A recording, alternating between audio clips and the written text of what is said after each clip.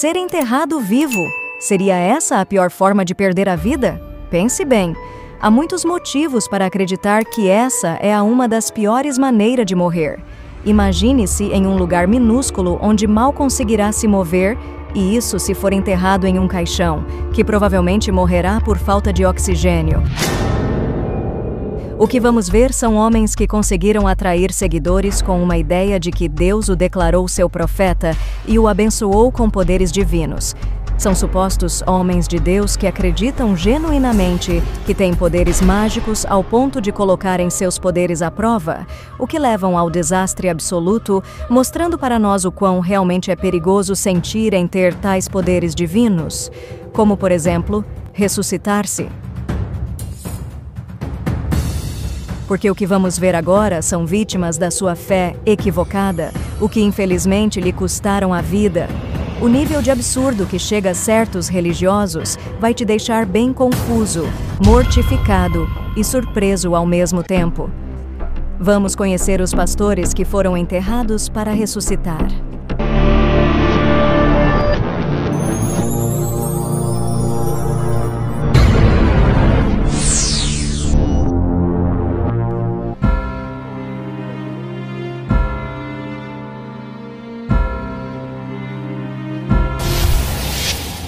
A Bíblia Sagrada relata que Jesus, durante o seu ministério terreno, ele realizou muitos milagres, como a espetacular ressurreição do Lázaro, e o próprio Jesus que também morreu e depois de três dias ressuscitou. Assim como conta a história bíblica que Jesus ressuscitou, muitos pastores tentam imitar a ressurreição de Jesus como um triste acontecimento que chocou uma comunidade cristã lá na África. Esse jovem que vemos tem, ou melhor, tinha apenas 22 anos. Seu nome, James Sakara. Ele não era Jesus Cristo, nem os seus poderes tinham alcance bíblico, mas para uma comunidade cristã ele era considerado um realizador de milagres. Foi aí que ele propôs um grande desafio. Ele queria demonstrar à sua igreja que tinha capacidade de imitar a ressurreição de Jesus Cristo e para isso pediu para ser enterrado vivo para que pudesse voltar à vida dentro de três dias, exatamente como descreve na Bíblia sobre Jesus. Este é Laxon Firi, o pastor da Igreja do Espírito de Sião, da qual James Sakala era membro. A igreja fica no distrito de Chadiza, localizada na província oriental zambiana.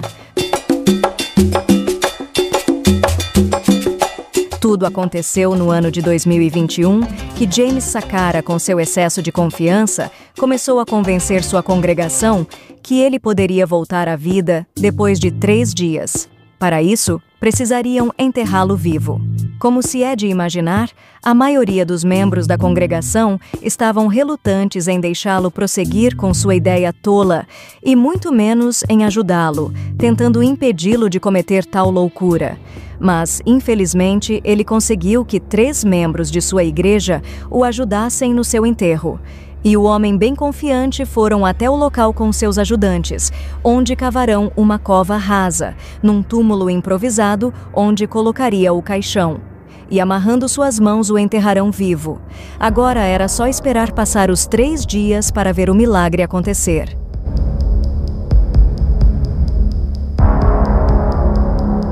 Aqui vemos o pastor Laxon Firi, confessando que enterrou vivo do lado de fora de sua igreja o então membro James Sakala.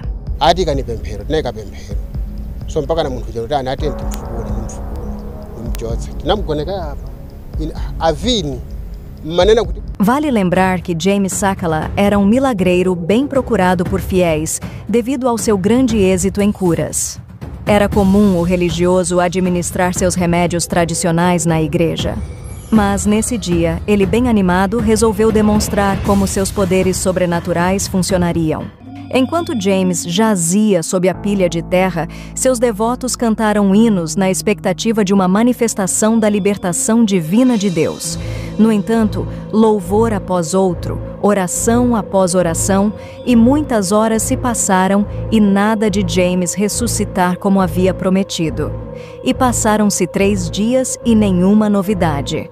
Passado-se o tempo para regressar dos mortos, muitos imaginavam seu irmão chegando vivo a eles, assim como Jesus, depois de ressuscitado, apareceu para seus discípulos. Porém, nada disso aconteceu e os membros de sua igreja foram até o local cavar sua sepultura. E ao desenterrar, observarão que ele não respondeu nenhum sinal de vida. Sim, encontraram o curandeiro morto, coberto de muco e sangue. Ele parecia ter lutado muito para sair do caixão, mas ele morreu asfixiado. Ao verem o corpo sem vida do seu líder, alguns membros da igreja ainda tentaram uma série de exercícios espirituais para ressuscitá-lo, mas sem nenhum sucesso e infelizmente seu irmão nunca reagiu. Seus seguidores perceberam então que a tentativa de ressurreição havia sido um fracasso completo e que seu curandeiro havia deixado este mundo para nunca mais retornar. Segundo as reportagens, informaram que o religioso que submeteu ao desafio trágico deixou uma jovem esposa viúva grávida do seu primeiro filho e toda a igreja confusa. Para Gertrude Cheese, esposa do falecido seu marido, foi um herói.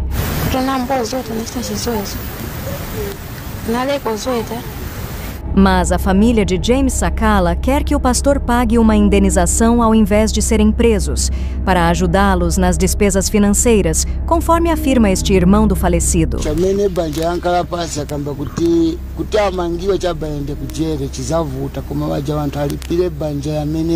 O crime aconteceu em março de 2021 e a notícia foi publicada originalmente pelo Daily Mail Zambia pois vários sites africanos publicaram uma história falsa, se tratando de um pastor que pediu para ser enterrado vivo. E nós estamos então corrigindo esse erro. A verdade é que não foi o pastor que submeteu a esse trágico acontecimento, e sim um membro da igreja que tentou demonstrar um ato de fé aos seguidores da igreja do pastor.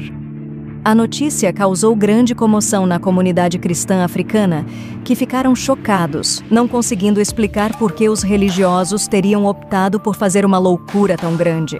Depois do ocorrido, as autoridades locais apresentaram queixa contra os três homens que decidiram ajudar o pastor com sua ideia maluca. Um entregou-se à polícia. Os outros dois colaboradores de Sakara passou a ser procurados pela polícia e acredita-se que estejam fugindo do tal crime. Segundo a reportagem da Diamond TV, afirma que, que esse religioso James Sakala já havia feito essa loucura antes, mas sobreviveu. Para Vicent Phil, também membro da igreja, afirma ter visto James Sakala ter feito isto antes e que ressuscitou com sucesso. Vamos ouvir.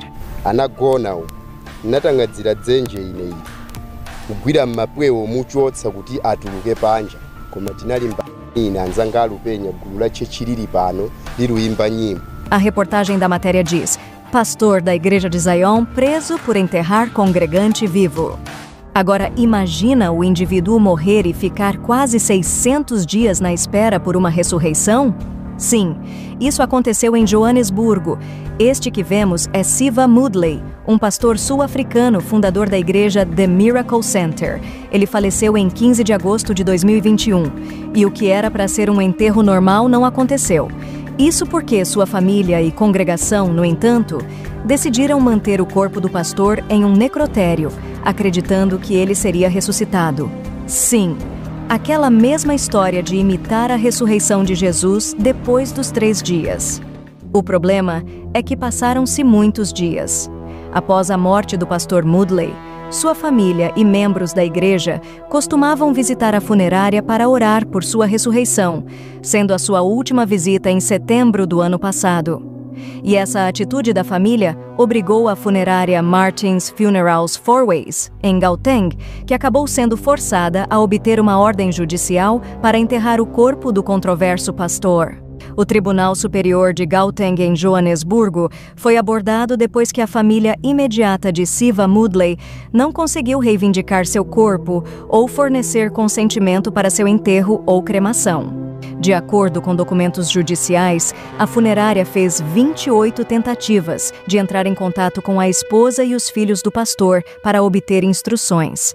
A funerária explicou à família que enfrentariam implicações ambientais e de saúde se o corpo do falecido não fosse enterrado, mas não obteve nenhuma resposta da família. Os documentos judiciais afirmam ainda que a esposa de Moodley supostamente disse ao agente funerário que teve uma visão de que ele poderia ressuscitar. Isso tudo se deu porque, durante em vida, o pastor realizou muitos milagres em sua igreja, como fazer com que aqueles que eram cegos enxergassem, assim como também restaurar a audição de alguns com deficiência auditiva, isso sem contar as inúmeras pessoas doentes que ele havia curado. Inclusive, no ano de 2003, uma pessoa por nome Cade Bailey se tornou a primeira pessoa ressuscitada dos mortos nas reuniões do pastor Moodley. Um bebê que morreu antes do nascimento também foi ressuscitado no ano de 2013 através do serviço espiritual do pastor Siva, que orou pela mãe em coma. Esses acontecimentos foi uma prova que o pastor iria ressuscitar. Se a família ainda tinha esperanças, já as autoridades pressionavam-os para que enterrasse logo o religioso. E depois de mais de um ano e meio que o corpo do pastor estava sendo mantido no necrotério, exatos 579 dias foi finalmente enterrado de maneira digna no cemitério West Park, em Joanesburgo. Foram quase 600 dias de espera por uma ressurreição que nunca aconteceu. Embora o pastor Moodley tenha sido enterrado de maneira digna, sua esposa e dois filhos adultos não compareceram ao funeral. Ryan Brown, gerente da funerária Martins Funerals Rudeport, confirmou que os irmãos e parentes de Moodley estavam presentes no funeral. Brown também observou que a funerária seguiu os procedimentos adequados para garantir um enterro digno para o pastor. O que ficou ainda mais estranho é que, apesar da morte de Moodley em 2021, suas páginas nas redes sociais permaneceram ativas. Os relatórios indicam que a igreja não reconheceu publicamente o seu falecimento nas redes sociais, nem informou a congregação sobre o seu paradeiro. Os serviços religiosos continuaram normalmente após sua morte, com sua esposa, Jesse, filho, David, e filha, Catherine Jade, liderando-os. Esses serviços também foram transmitidos ao vivo pelas redes sociais. Embora a história do enterro tardio e da ressurreição fracassada desse pastor possa ser chocante, ela serve como um conto de advertência sobre os perigos da fé cega e a importância de tomar medidas legais e práticas adequadas ao lidar com a morte de um ente querido, Parece que esta se tornando comuns casos de famílias e seguidores de religiões pelo mundo que acreditam na sua ressurreição conforme sua fé e base na Bíblia, livro considerado sagrado para muitos seguidores. Esse mesmo caso de não ser enterrado na promessa de ressuscitar depois de três dias já aconteceu aqui no nosso Brasil no ano de 2021, na cidade de Goiatuba. O pastor Uber Carlos Rodrigues havia escrito uma carta em 2008 que o mesmo, ao morrer, ressuscitaria depois de três dias. E isso impediu de um enterro normal acontecer, que, por ordens de sua esposa, exigiu que mantivesse o corpo na funerária por três dias, acreditando que poderia voltar dos mortos e ressuscitar. O que infelizmente não aconteceu para a frustração de todos.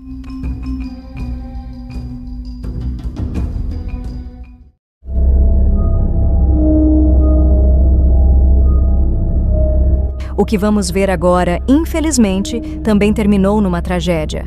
Tudo aconteceu no ano de 2015 numa aldeia do Zimbabué. Um homem proclamou-se profeta. Seu nome, Shamizu Kanyama.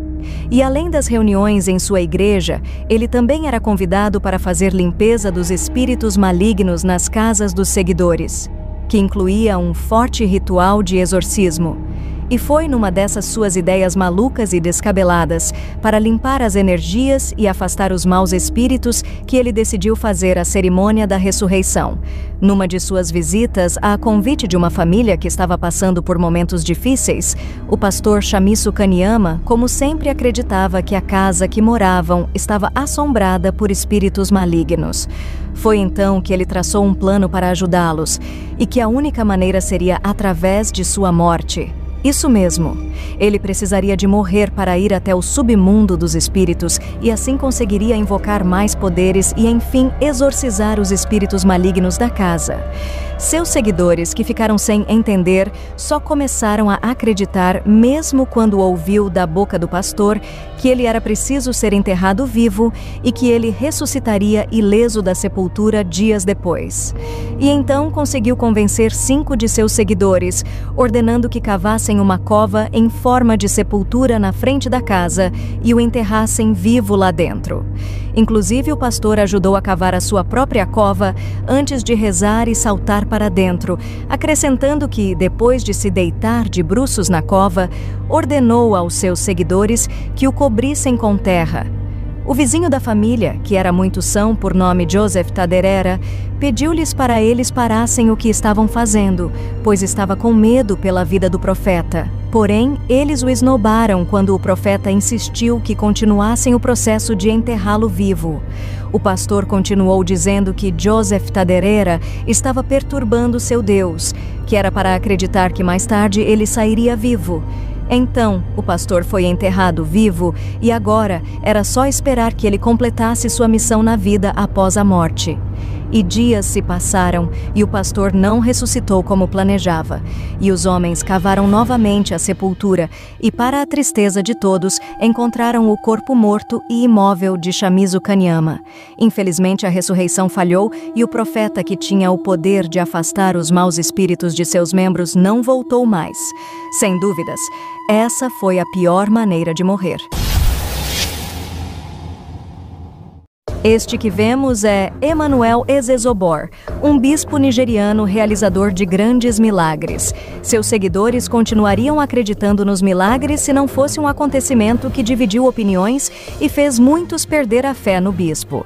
Tudo ocorreu no ano de 2016, quando Emanuel convenceu um homem a ajudá-lo num plano para convencer sua congregação de que ele tinha poderes sobre a morte. E para isso foi oferecido 500 mil nairas nigerianas o que despertou o interesse do homem que assinou o acordo. Mas as coisas deram errado quando começaram a planejá-lo longe demais. O plano era: o homem ficaria dentro de um caixão em frente aos fiéis, fingindo que estava morto até que o pastor lhe desse ordens para se levantar. Então, o homem se levantava diante de sua congregação e demonstrava que o pastor tinha poder sobre a vida e a morte. No dia do evento, uma multidão estava na expectativa de ver um grande milagre. Quando chegou o grande momento, o bispo ordenou que ele se levantasse, porém nada aconteceu. Foi então que o bispo Emanuel Ezezebor foi verificar o que ocorreu e percebeu que seu plano tinha dado muito errado. Sim, o homem não se mexia porque estava realmente morto. Descobriu-se que o caixão que eles escolheram era hermético, e enquanto esperava pelo seu sinal, o homem ficou sem oxigênio e sufocou lá dentro. E com essa trágica morte acidentalmente do membro de sua congregação, seguidores deixaram de acreditar no bispo. Uma decepção para os fiéis em saber que seu bispo tentava fingir um milagre, e o pior, por terminar dessa forma infeliz. O que vimos são pessoas super confiantes que decidiram esquecer de usar o cérebro e deixaram sua chamada fé substituir seu senso de raciocínio e fizeram verdadeiras loucuras que lhes custaram a vida. E você? O que achou dessas histórias verdadeiras e assustadoras de pessoas que foram enterradas vivas? Deixa nos comentários e não deixe de assistir esse vídeo que também é perturbador. Até mais!